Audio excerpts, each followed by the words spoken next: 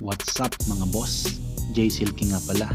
Bago po ang lahat, huwag niyo pong kakalimutan mag-subscribe at pakisuntok na rin po ang notification bell. Maraming salamat po.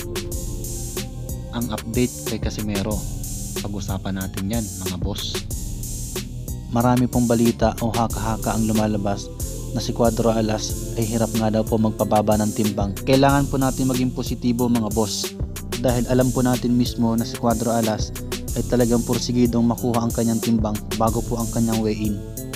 Magtiwala lang po tayo mga boss dahil mismong si Casimero ang nagsabi na mag-relax lang tayo. Ibig sabihin po nun, nasa tamang timbang po siya. Dahil alam niya mismo sa sarili niya na kapag siya ay lumagpas man sa kanyang timbang na 118 pounds, ay pwedeng mawala sa kanya ang kanyang belt na WBO na matagal niya nang dinipensahan. At hindi lang yon mga boss, pwede mawala rin sa kanya ang kanyang mga inaasam-asam na malalaking laban kay Naoya Inoue at Donaire dahil balak niya rin po talagang maging undisputed ng bantamweight division. Kaya po, puspusan ang kanyang pag-iinsayo hindi lang para paghahanda kay Paul Butler at para na rin sa future fights niya para mawala na rin po ang ating agam-agam o ating pag-aalala. Ito po ang kanya mga update para sa atin mga boss.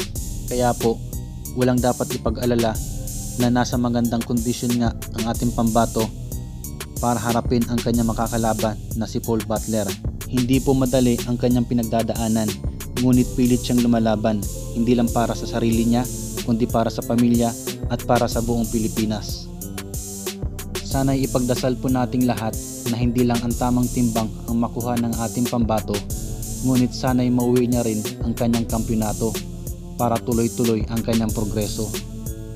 Andito lang kami, lagi nakasuporta sa iyo, Idol Casimero, dahil ang tagumpay mo, tagumpay ng bawat Pilipino. Saludo sa iyo, Cuadro Alas, Angas ng Pinas.